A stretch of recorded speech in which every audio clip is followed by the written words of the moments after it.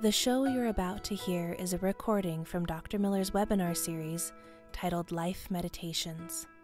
He began this series in response to the pandemic, and his goal has been to provide wisdom, practical tools, and comfort to people during these stressful times. Watch the entire series at drmiller.com slash life meditations. That's drmiller.com slash life meditations. Welcome, welcome, welcome. This is Emmett Miller, as I'm known informally or formally as Dr. Emmett Miller. And welcome to actually part two of my little presentation, which I want to be talking about relationships. Uh, I think it's especially important uh, during this time of uh, social distancing and uh, especially the lockdown where we're locked away with our family and so forth. Uh, uh, I understand that um, divorces are up and child abuse is up. Uh, and, you know, sometimes we have wonderful lives and we know how to get along with each other in our usual lives when we're going off to work and we have our different things to do. But all of a sudden we're kind of squeezed together. It's more of a 24 hour, 24 hour thing. It reminds me a little bit of what happens when, you know, well, the usual situation is when a man retires and uh, suddenly he's home and that's wonderful for him because he's not having to work anymore. Uh, but it's not always such a wonderful thing for the wife who's run her own show up till now, and all of a sudden there's a guy who comes home and he's been the uh, the supreme commander or thinks he's been the supreme commander at work or the CEO, whatever it might be, and he comes home and he's now going to give his wife instruction about things, and I don't have to tell you how incredibly well that works out. so that often has brought people to see me uh, because the boundaries have been destroyed and we're safe behind those boundaries. And sometimes we've taken many years or even decades to craft those boundaries so that they work well. We have a system, but so many of our systems are broken down. And we as human beings, we thrive on systems and we thrive, we actually thrive on routine most of the time. Sometimes it's really good to break out of the routine. Um, but routines in terms of time. Our time routines are broken up because we're not getting up and going to work. Whoopee, I don't have to get up and go to work. So when do you get up? Whenever you feel like it. And so what does that do to breakfast? What does that do to lunch? And what does that do to the mm, particular energy that you usually pick up, say a half hour, an hour after you wake up and you're going to work and you shift into a certain, actually it's a state of mind we may call it a mood or a feeling. I feel really productive today. Or I'm right on. I'm really thinking. Or I'm kind of fuzzy and I'm out of it. Or I'm feeling really amorous. Or I'm not feeling amorous at all. Whatever it might be, each one of those different states are really states of, of consciousness. I got into this, of course, now some 50 years ago when I started practicing hypnotherapy. Hypnosis was this incredible tool that I found that was able to help people in amazing ways. Often the help only lasted a short while. Um, and so, of course, no one used it, even though it's been 50, 60, 70 years that it's been available to us in the medical profession. And uh, what interested me is uh, the issue of how can we get hypnotic quality dramatic change, but then have it uh, happen consistently for you know for a, a, long time or maybe forever, so we can make um, uh, changes in ourselves. You know, I had to figure out this what this hypnosis was, and and I found out that very few people, even the best practitioners of it, didn't really know what it was. They knew how they knew how to use it. you know, it's like you can you can teach a monkey to ride a, a bicycle, but the monkey's never going to understand how the, how the bicycle works. I wanted to know how um, hypnosis worked. And I realized that what hypnosis is really is a collection of tools, a collection of mind tools, uh, in which you uh, a person goes from thinking about one thing to another, to another, to another, to another. A series of thoughts of what I call selective awareness, one thought to another. And when a hypnotic state, let's say, is being induced, then there's a series of suggestions that are given by the operator, either auto hypnosis, it's you, or if there's someone else like a therapist, you're listening. And they're saying, okay, do this, sit in that chair, let yourself be comfortable.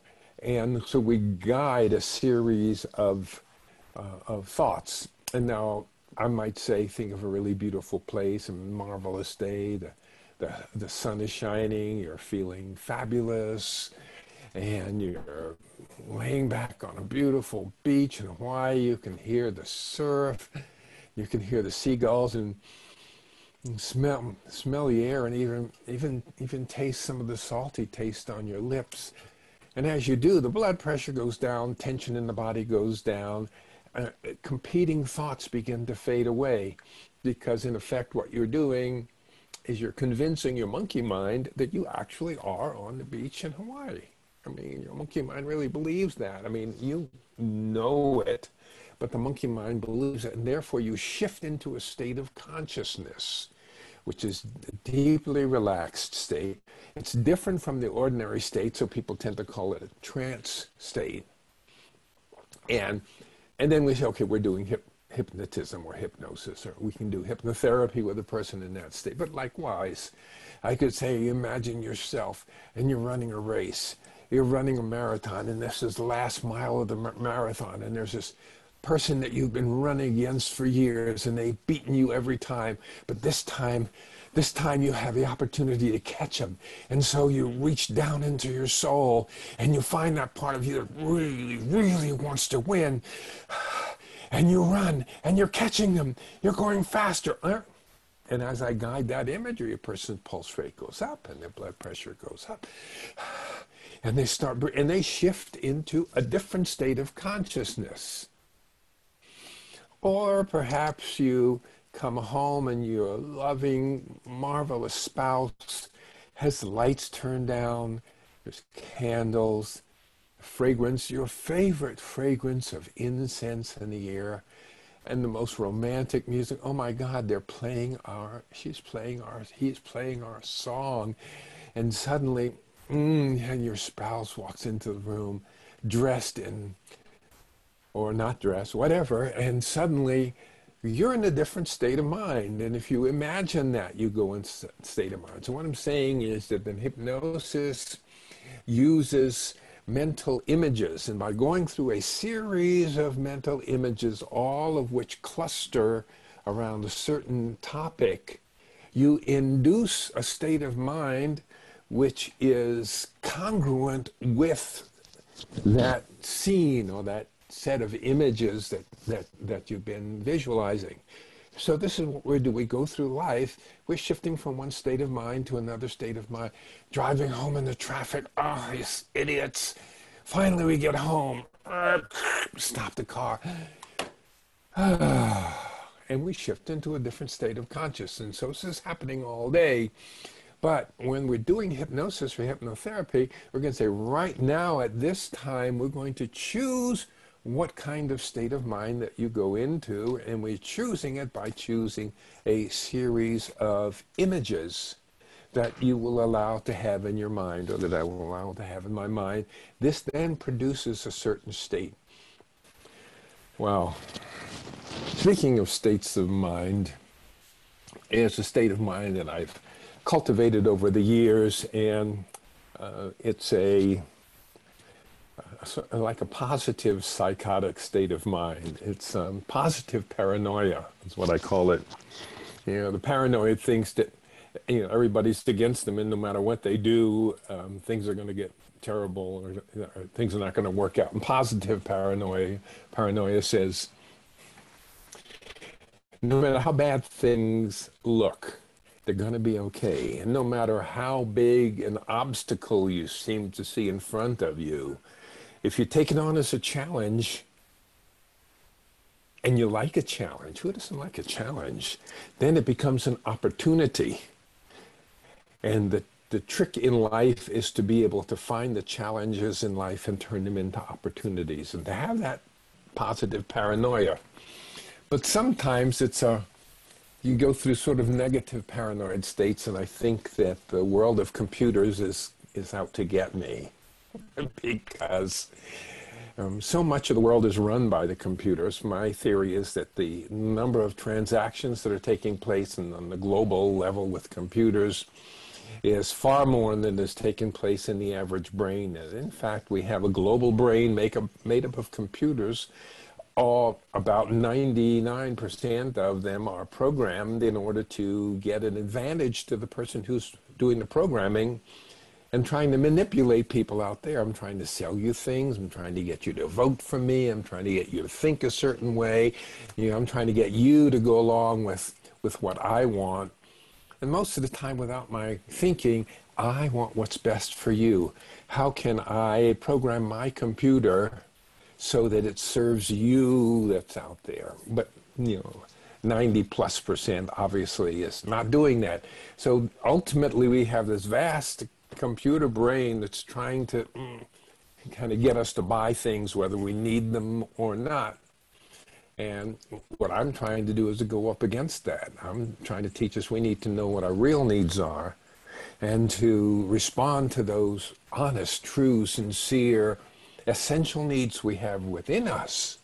Not worry about whether we have dandruff or whether we're wearing, wearing the right deodorant or whether we have the coolest car and so forth.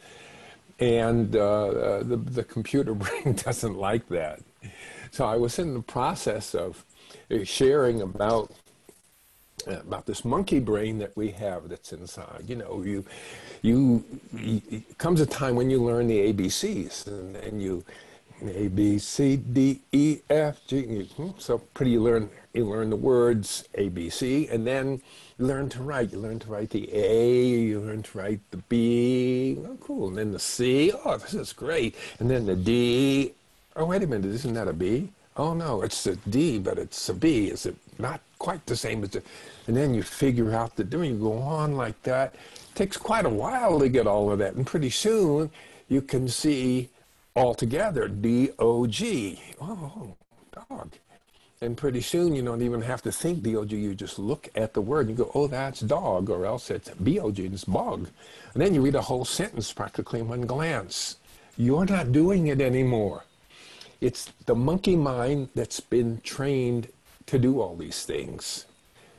And when we're working with hypnosis, and we work with guided imagery. Think this, then think this, visualize this.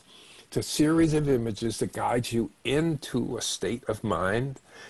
For change and for therapy, you want a vulnerable, open state of mind because the monkey's in a vulnerable and open state of, the, of mind. Most of the time, the monkey's kind of tense. He's worried, a little nervous, a little irritable, a little concerned about what's going on, feeling a little bit crummy about what happened yesterday, a little bit worried about what might happen tomorrow, because that monkey mind evolved 500,000 years ago when the threats in our lives were immediate, physical. We had five seconds to save our lives and therefore, you have this hyper paranoid little monkey mind that's in there. In other words, that creates a negative bias. And therefore, we tend to have a lot of negativity in our lives. Those that want to sell us stuff, they crank the lev- crank up the negativity. Did you read the newspaper today? I mean, you know, let's have a riot. You know, let's oh, oh looting, mm, shooting. I mean, what's going on? And that little monkey mind is feeds off of that, becomes more tense. As it becomes more tense, it wants relief of that tension. Well, now you can send, sell me scotch, or maybe you can sell me a fancy new car, or maybe Ashley Madison will get me to try to find a, uh, a date, you know, or maybe vote for who I'm telling you to vote for. The scheme Basically, how we sell you things is to make you feel inadequate, afraid, unhappy. And then we put in front of you the thing that we want you to buy and your likelihood of buying that is, and that's why you have these commercials. It's, some commercials, I mean, they're really awful. They're very irritating, but you know what? They work because the commercial's not selling to you, it's selling to your monkey. If you want to do therapy, you've got to quiet that monkey mind down. Quiet down your limbic system. And once the limbic system is quieted down, once the monkey brain is now available, the mind is open, and now you can say, I'm going to suggest to you that you think about the world in a new way. I want you to think about the world in this way. There's this other person that's in your life. There's been some stress between you, maybe some arguments, maybe some irritation, or maybe you're just kind of distant from each other a little bit. Uh, and that's not the way you want to be. And that's not the way he wants to be. That's not the way she wants to be. None of you wants to be that way. That you're here to love each other Love is what makes the whole thing happen. If it wasn't for love, the cave woman would have tossed that mewling, puking, two month old right off the side of the mountain. But she didn't because she loved it. And she loves her man and she loves her mother and he loves his father and his uncle and his aunt and everybody in the community. There's a bond of love and that's what gave us the ability to climb down out of the trees and come out of the caves spread out around the world. That's at the core of it. And when we lose that love, we're losing some of who and what we are. We have big brains, not so that we can build computers and rocket ships, but so that we can love. And so we can love more people. You know, the more complex a society, the bigger the brain needs to be. As human beings, we're ready for a much more complex society than our nearest relative, relative the chimpanzee. Okay, so we are here to love. Mm, I'm speaking to the monkey mind now, and we're speaking in a state of deep relaxation because I, as I've been talking, you've let yourself sit back and close your eyes and maybe taking a few deep breaths and let yourself sink into the surface beneath you. And allowed your eyelids to relax until they feel like they just don't want to open and let that relaxation flow throughout the rest of your body and relaxed and allowed unnecessary thoughts to float away. And now the deeper levels of your mind open and then I would say you're here to love. And with those people with whom the love isn't vibrant, and alive, and stimulating, and thrilling, and beautiful, it's because we need to heal those relationships. We need to reconnect with each other. And that reconnection with each other means to be able to be open, to be able to be vulnerable, to be able to let down our guards so that the relationship can be intimate compassion is one of the highest um, achievements of humanity. Not just to have empathy, which means that if you're having a feeling, I can sort of feel in myself what that feeling's like. I know what it is to be really hungry. I know what it is to be really frightened or feeling desolate or abandoned. Oh man, I'm really sorry to hear that. Wow, I can feel it empathy. Well, one step beyond that is compassion. Not only do I feel it, but I want you to be relieved. I want you to feel, calm. I want you to feel safe. I want you to be happy. And I want you to feel creative. I want you to feel loved. I want your pain to be less. I want that in my being. That's compassion. Now, I think if you're kneeling on somebody's neck and they're going, I can't breathe, I can't breathe, I can't breathe, ah. You're not feeling a lot of compassion at that moment. Now, I just feel that compassion is something that's really extremely valuable. I think it's central to what's going on. And so I'd like to so we talked about opening up that deeper part of us. the different states of mind that, that we can go into. And when we're alone with people stuck, clamped down with people we haven't seen for a while, that's a strange situation. We sometimes drives us apart in a way that neither of us wants. The same thing with the people that you're cut off from. There's members of my own family that I can't even be with. It's been months. We can talk on the phone, but it's a whole different deal, right? And so that relationship, it's a different, it's a, a different context. And that we haven't devised a way to really be deeply connected in the new context because the new context creates a new state a new state of mind within us, and often it's not a very useful state of mind. But we have the ability to change our state of mind. And that's the center of what we want to be able to do. And what is beautiful as a human being, you can change your state of mind to meet whatever circumstance that you're in. So if I see an obstacle, I can change my state of mind to see it as a challenge and I can change my state of mind to say, "Hey, bring it on! Yeah, let's see, let's see. You know, maybe you win, maybe I win, but you know, you, you're gonna know you." You're gonna know you were in a fight, and that's gonna feel good. And you know, maybe I win this challenge, and what an opportunity! And what I've learned about myself in that in that whole process.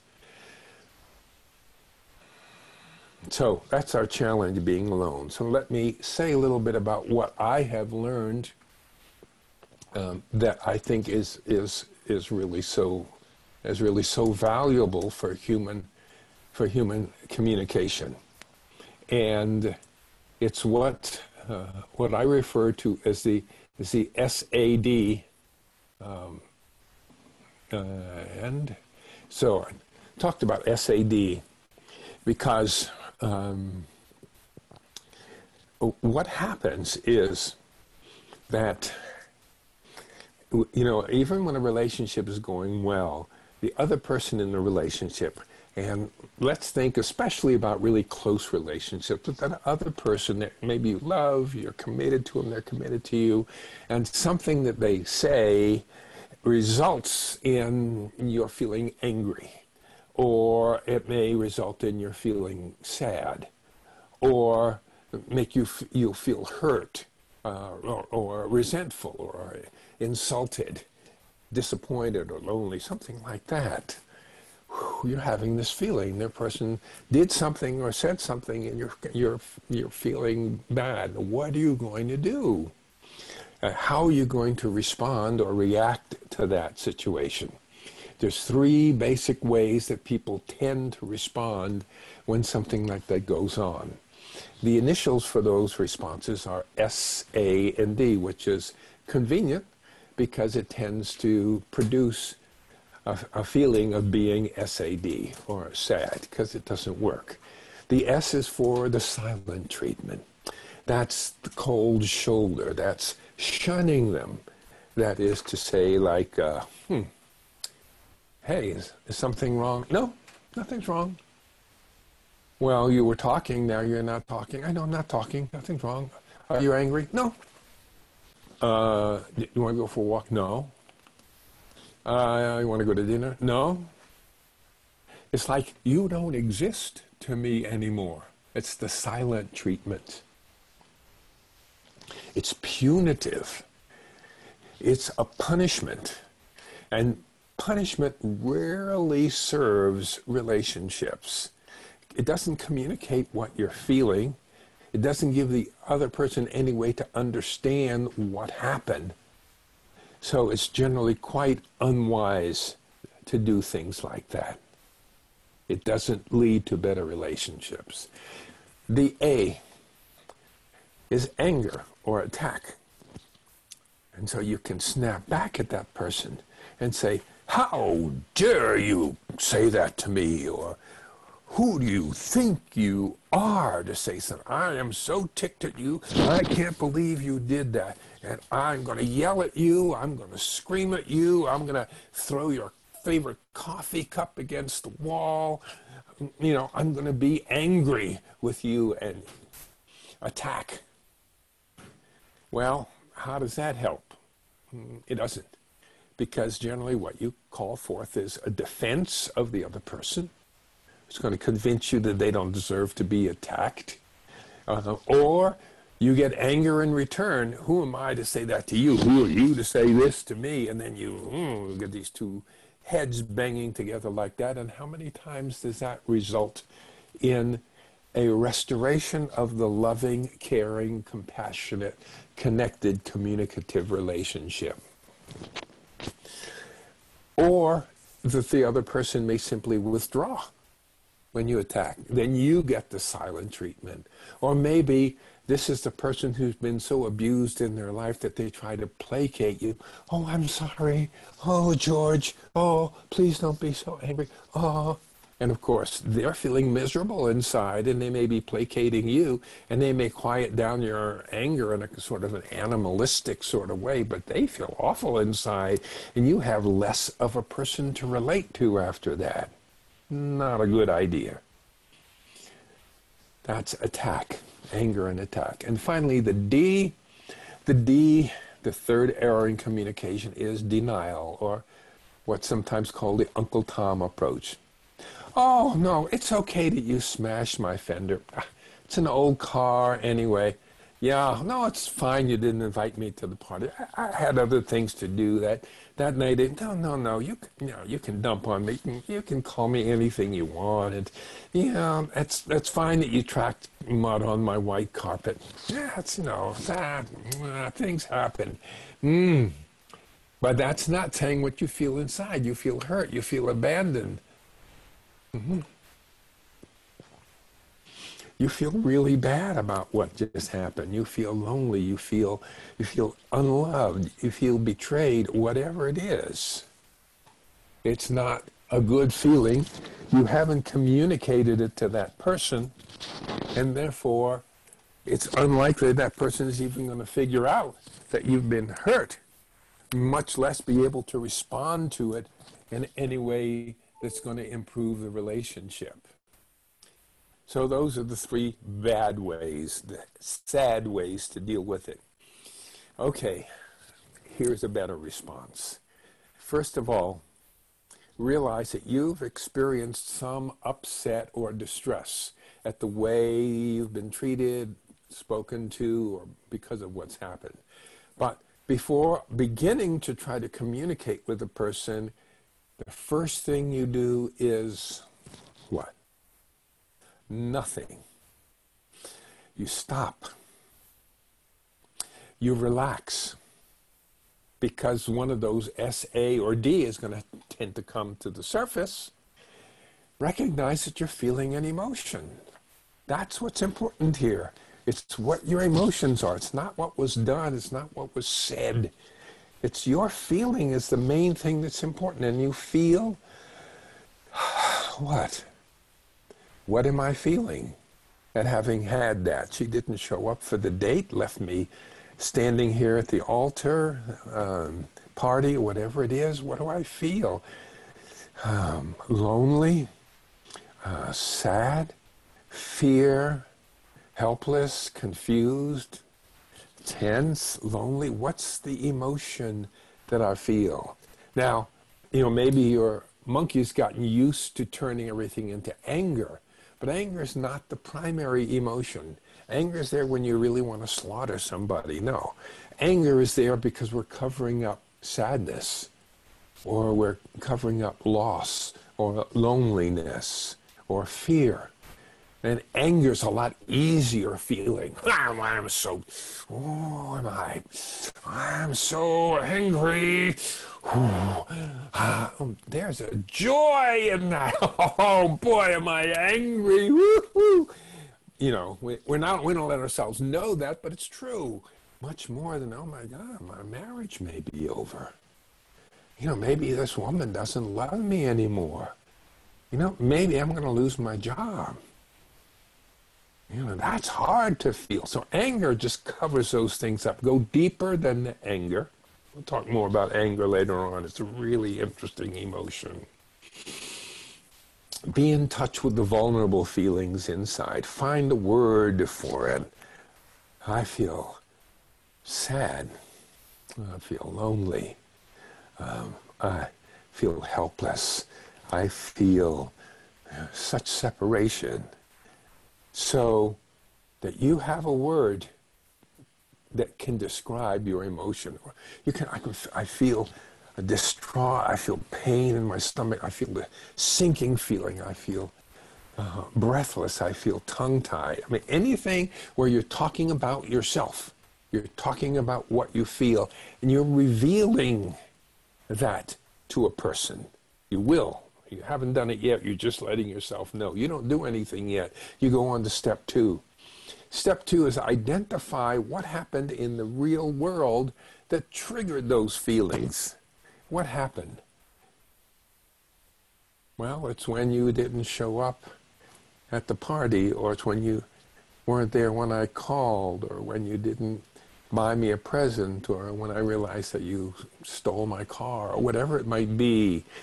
What was that moment that triggered you? That's important because now you want to be able to communicate to your partner. And now you want to say to the other person, there's two steps to what you share with them.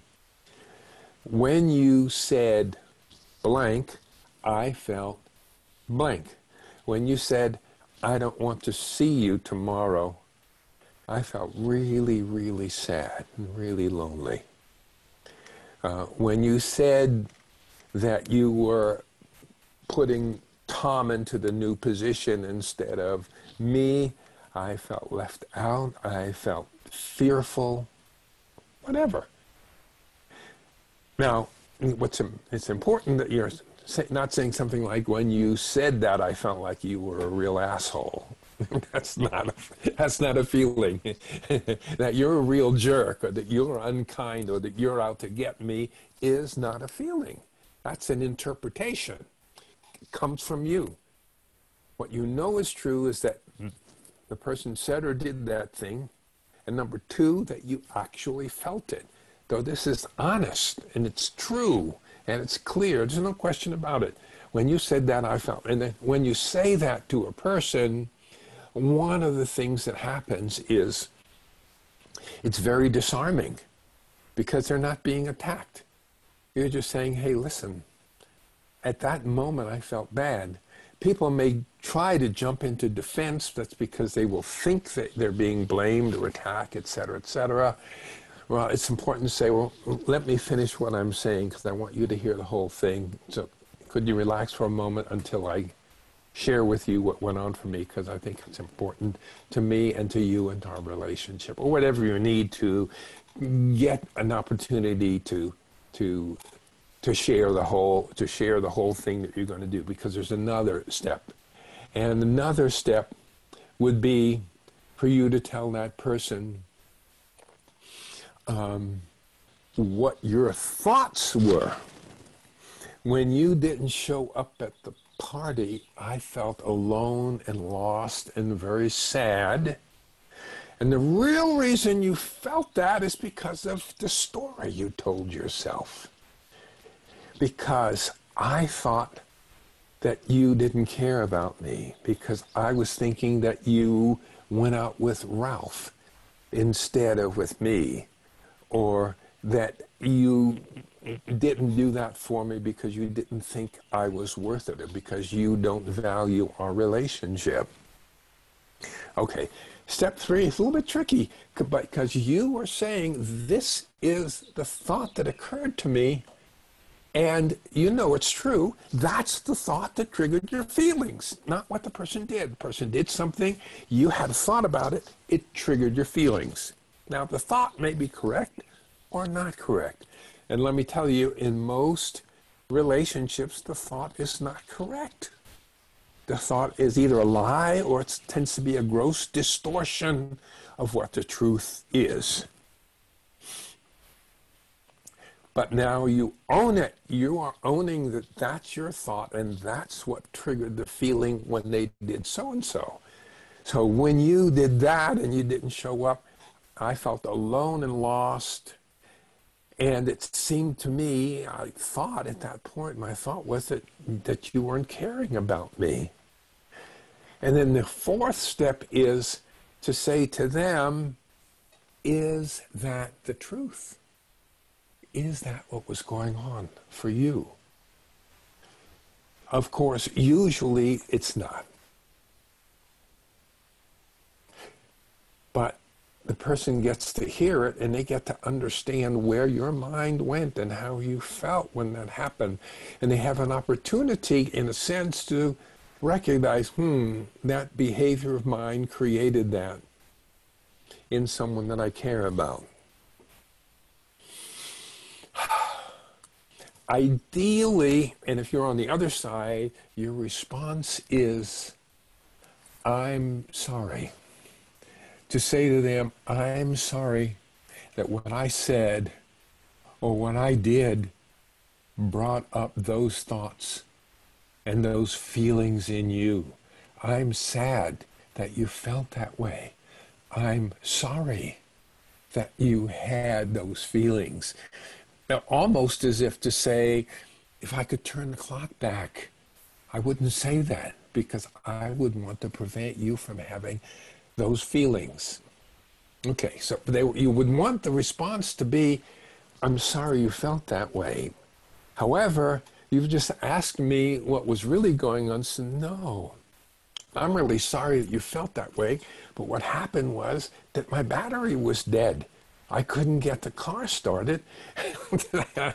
I had left my cell phone, and there I was in a 10 foot snowbank, unable to get my car started, whatever it is to have a perfectly good reason that they can share with you as to where they were coming from in terms of doing that. And that is the basis of being able to respond to what felt bad or what was uh, a trauma or an insult to you in such a way as you open yourself up to give the other person an opportunity to have compassion for you for example, I know what that feels like. I've been in that same spot. And I never want you to feel that way. And now I haven't been attacked. You didn't attack me. You didn't give me the cold shoulder because of what I did. You didn't pretend that everything was okay. You were just honest with me. And I have a chance to say, oh my gosh, I had no idea that you were having thoughts that that's, let me tell you how I really feel. Let me tell you how important you are to me. Let me tell you how, how valuable you are to me. And I want to know what I can do to help you feel better. And again, when you're on the receiving end, you want to do something. You know, what can I do? you know, maybe you can give them a hug, maybe it's a kiss, maybe you can fix dinner or fix a cup of coffee or bring some flowers or whatever it is. Because again, it's the monkey that's having the problem. If the person, the monkey's not suddenly reacting to what they said, when the person does that thing, there's no emotional reaction. It says, uh, Gosh, Bill, um, you didn't show up at the party last night. Um, I was just curious as to what's going on. But you're not having any big feelings inside because you've got a you've got a monkey who's learned to be really relaxed and not to have this negative way of interpreting the world. But your monkey had a negative way of interpreting world, which was why you end up with bad feelings, which we now have resolved. And now if I'm the person on the other side, I say, I'm so sorry, and now I want to give you a gift. Whatever kind of gift is appropriate to whatever our relationship is. Because monkeys like gifts. The monkey will say, wow, gave me a banana. Must really like me, must be telling me the truth. And that's why it's important to do something in return. Okay, so if you've been going through all of this in a deep state of relaxation, you can begin to guide yourself back to an awareness of where we are and where your body is located in space and time because that's really all the time that we have for today is that our way of reacting is always based upon how we've learned to react. And we have no control over what's laid on us for the first five to seven years of our lives. We don't even know that we have separate minds. We can't think different from what's laid on us. And so we're always going to be reacting in the ways that we've been trained to react, but those ways are limiting our lives.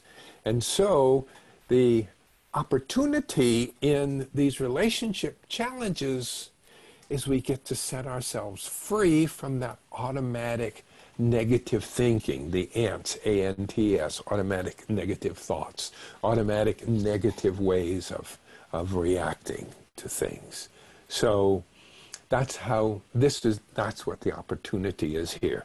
But always remember, for you or for somebody else, they're reacting that way, it's not your fault. Your fault may not be a fault, but what you did was inadvertently step on that person's toes that may have been very invisible to you, but now they're visible to you. And the reason that person's feeling pain is because they've been trained to feel pain in that kind of situation. That's generally what's going on. And what you want to be is the compassionate person says, my gosh, I'm sorry that you're feeling bad. You can't say to her, I'm sorry that you're feeling bad because your father was such a jerk. I guess sometimes you can say that, but but that's what it is. And the same thing about your feeling, whatever you're feeling. That's what we're always trying to do is let go of the past. Um, so much of what goes on in our lives and just about all of the painful, negative, awful things that are going on in our lives is the result of how we've been programmed to feel about things. I had a woman who came to see me. She had an interesting job.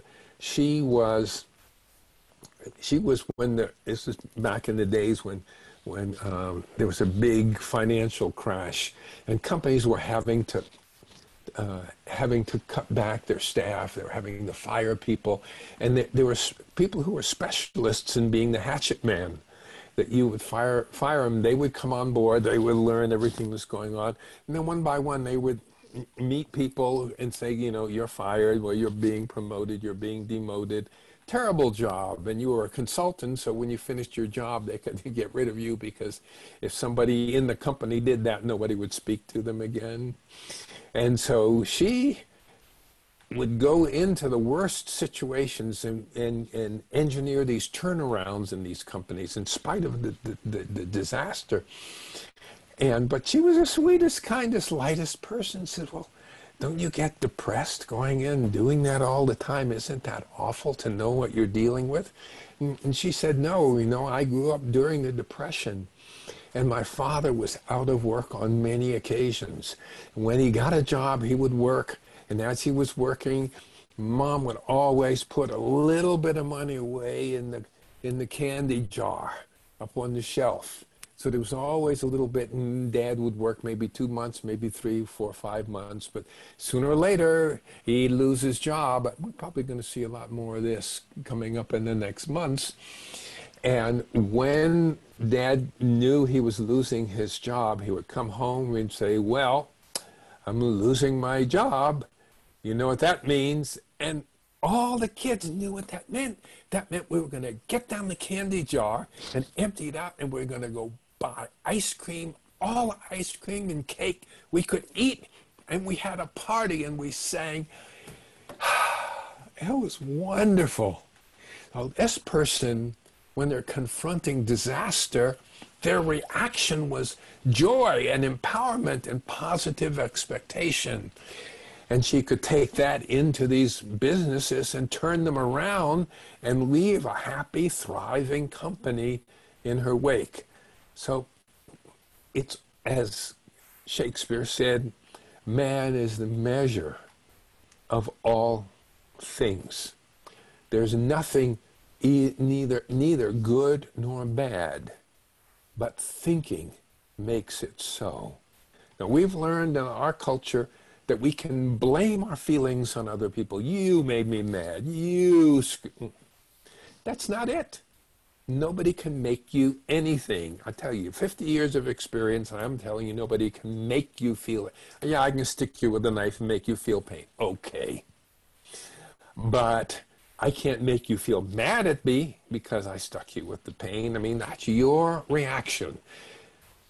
Well, in the 99% of the time, our feelings are purely and simply our emotional reaction to what's going on because of how we're interpreting the world. Realize you don't have to interpret the world in that way, and if you shut up until you take responsibility for your reaction and give the other person an opportunity to hear you, to feel you, and to be compassionate, then you haven't well, you haven't been responsible. You haven't been responsible to the relationship. And since the relationship is really why we're here in so many very important ways, you want to work on your way of dealing with those situations in which you feel, which you feel insulted. Our next one is going to be a real challenge for me. I started out as a militant agnostic which means anyone who thought that they could speak in any kind of uh, rational way about the existence of God or spiritual beings or anything like that. I used to love to get together and demolish them with my heavy duty intellectual arguments. I was a militant agnostic, and not atheist, because I think atheists they have more faith than anybody in a certain way, right? Because atheists thinks everything happened automatic by mistake. Everything just kind of fell into place. It's sort of like arriving on a desert island and finding a Rolex watch hanging from uh, the, the frond of a palm tree and saying, hmm, all of the elements that make up this watch are present in ocean water. Maybe the waves just crash together in such a way as to form this Ro- Rolex. It's just an accident. There was no intelligence that put this watch together. So to, you have to have a lot of faith to believe that. So I had to be an agnostic. But what I'm going to do is talk about spirituality. And I'm going to try to tie that into our viral situation but that's just a tiny piece of it. That's just to kind of keep it topical. But I want to talk about what my experience has been of spirituality and how I became a spiritual person uh, through the process of helping people discover how to heal themselves. And then the week after that, I want to talk about habits, addictions, and behaviors because we have been on lockdown long enough now that I think we're aware, more aware of some of the habits that we have that we w- may want to take care of. Uh, and being on lockdown is an excellent time to focus on our own therapy and growth, just as it is to focus on those relationships. So may you continue to find more and more love in your life, and may you grow closer and closer to those who are in your life that you love May you learn to love more and more people. Maybe you can learn to love all sentient beings, and even some of those beings who aren't sentient. Namaste.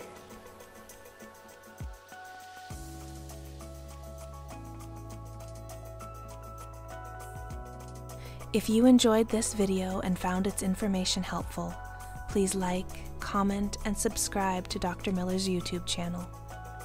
Doing this will help to get Dr. Miller's content to more and more people. If you'd like to watch the entire webinar series, you can do so at drmiller.com slash life meditations. That's drmiller.com slash life meditations. Be present, be kind, and be well.